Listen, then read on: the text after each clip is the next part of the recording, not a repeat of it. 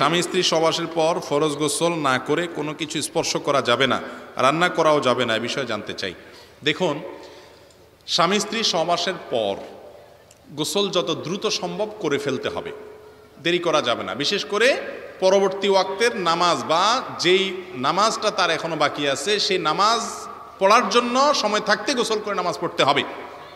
যদি কোনো কারণে গোসল দেরি করে, তাহলে সেক্ষেত্রে গোসল করা ছাড়া মহিলারা রান্নাবাড়া করতে পারবে না, কোনো কিছু কুটাকাটি করতে পারবে না, কোনো কিছু স্পর্শ করতে পারবে না, এমন কোনো কথা নাই।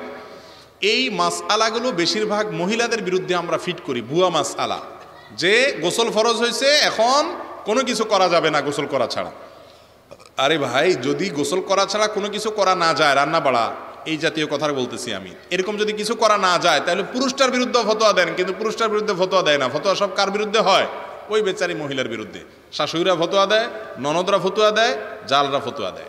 ঠিক না ঠিক। এগুলো ভুল। গোসল ফরজ হলে দ্রুত গোসল করা উচিত, কিন্তু গোসল আমি আধা ঘণ্টা পরে, এক ঘণ্টা পরে, দুই ঘণ্টা পরে করব এখন। সময় আছে আমার হাতে, তারপর নামাজ পড়ব। এই এটা যদি কেউ করতে চান, সেটাও তিনি করতে পারেন। উত্তম হলো এরকম করতে চাইলে একটু উজু করে নেবেন, তারপর অন্য যে কোনো কাজ করবেন বা ঘুমাবেন। বিশেষ করে রাতে অনেক সময় দেখা যায়, ঠিক আছে ফজর ডাক দিয়ে গোসল করব। করেন, কিন্তু আপনি এই যে ঘুমাবেন দু চার ঘণ্টা, একটু উজু করে নিয়ে ঘুমাইলে সেটা ভালো। উজু ছাড়াও যদি ঘুমান গুণা হবে না। হয়তো উত্তমের খেলাফ হলো জাস্ট এইটুকু। তো এটা নিয়ে আমাদের মা বোনদেরকে অনেকে কষ্ট দেয় এবং নানান কথা শোনায়, ভুল মাস আলা বলে, এটা ঠিক না। বরং নারী পুরুষ সকলের জন্য একই মাস আলা যে গোসল ফরজ হলে দ্রুত গোসল করাটা ভালো। গোসল করা ছাড়া গৃহস্থলী কাজ বা দুনিয়ার অন্য কোনো কাজ করাতে শরীয়তে সরাসরি হারাম বা নিষেধাজ্ঞা আছে গুণা হবে, এরকম কোনো কিছু না। জাস্ট উত্তম না, এই। উজু করে তারপরে করলে সেটাও যায় আছে। এরপরে প্রশ্ন হলো, বিবাহের অনুষ্ঠানে নতুন জামাই শ্বশুর লোকদেরকে টাকা দিতে হয় ব্যাপার ইসলাম কি বলে? খুবই সুন্দর এবং দরকারি একটা প্রশ্ন। আপনাদের এলাকায় আছে কিনা জানি না, আমি অনেক এলাকায় দেখেছি।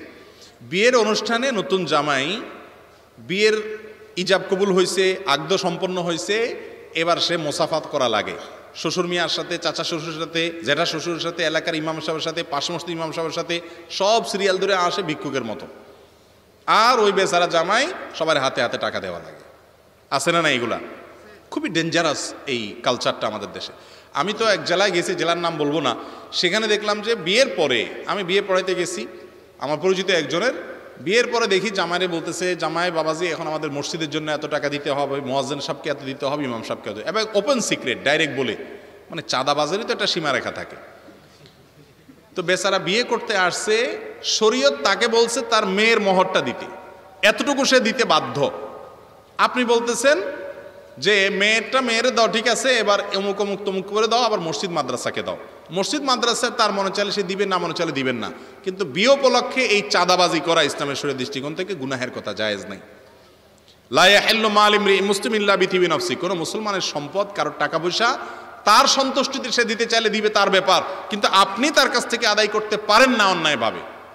সে বিয়ে করতে আসলে আপনার মসজিদে টাকা দিতে বাধ্য না। আপনি এটা তার কাছ থেকে আদায় করতে পারেন না। হ্যাঁ পুরান হয়ে গেলে। তাছাড়া সবচেয়ে বড় কথা একটা জামাই নতুন আসছে এলাকাতে। বেহায়ার মতো প্রথম দিনে যদি আপনি তার কাছ থেকে টাকা চান মসজিদের জন্য, এটা নির্লজ্জের কাজ। একটু পুরান টুরান হলে তখন বললেন, জামাই বাবাজি, আপনি এলাকার মানুষ এখন মার্শাল্লাহ আমাদের মসজিদের কাজ চলতেছে, আপনি মনে চাইলে কিছু দিয়েন। সেটা আপনি চাইতে পারেন ভিন্ন কথা। কিন্তু বিয়ের অনুষ্ঠানে পরিবেশ এমনভাবে তৈরি করলেন, বেচারা বাধ্য হইয়া দিল, এটা জায়েজ নাই। আবার এর উল্টাটাও আছে।